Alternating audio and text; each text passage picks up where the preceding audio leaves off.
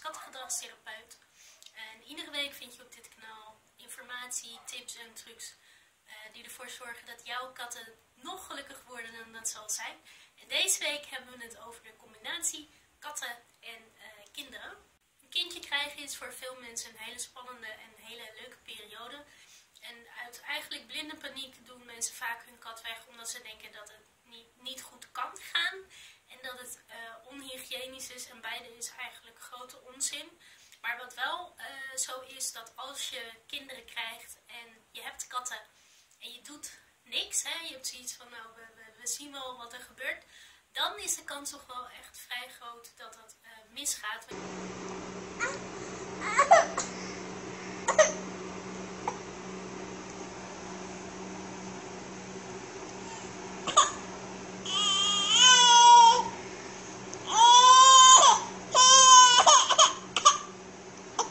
zal een omgeving moeten creëren die kat en kind vriendelijk uh, is. Deze week bespreek ik met je waarom een kat nu eigenlijk angst kan ontwikkelen voor een kind. En volgende week bespreek ik dan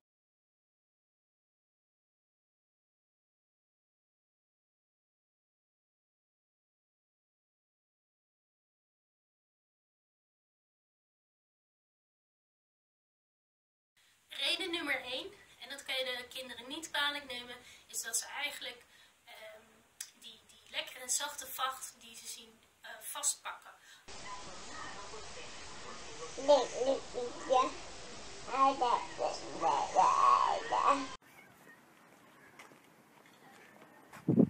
Give kiss. Give Billy Mom kiss.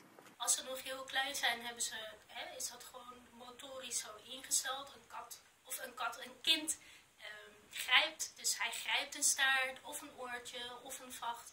Dat kun je kind niet kwalijk nemen, maar je kan de kat ook niet kwalijk nemen dat hij hè, zijn lijf zeg maar verdedigt. Dus uh, dat is eigenlijk een soort uh, situatie uh, waar je als ouders dus iets mee moet. En als ouders deze situatie ook moet sturen.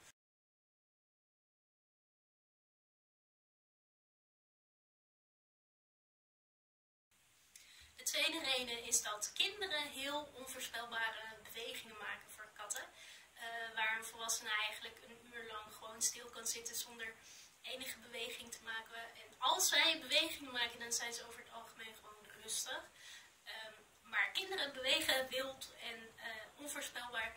En dat is waar katten van schrikken.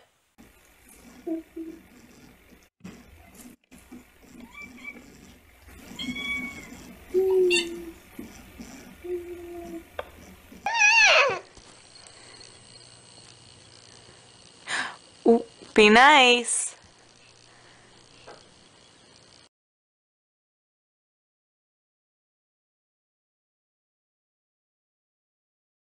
De derde is dat uh, het kind eigen is om reacties uit te lokken.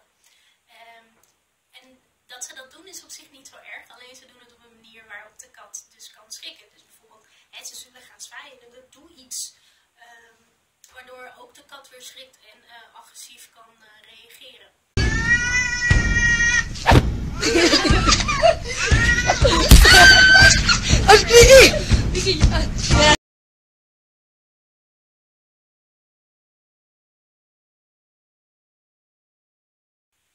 Nummer 4 is dat uh, kinderen, kleine kinderen heel luid zijn.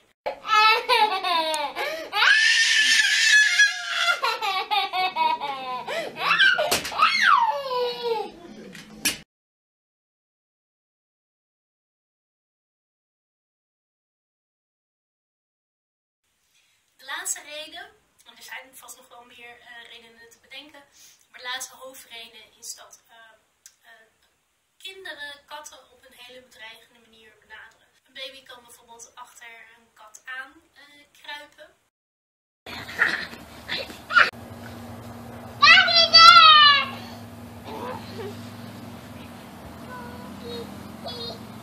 Een kleuter zal misschien achter een kat aanrennen en ook dat uh, is voor een kat heel bedreigend.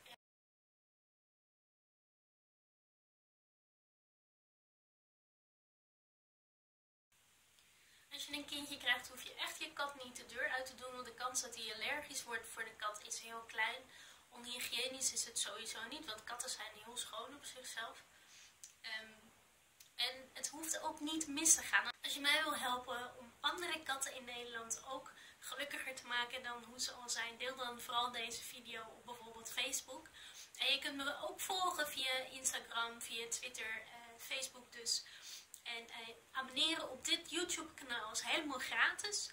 Eh, dat doe je door hier onderin de video op de knop abonneer eh, te drukken.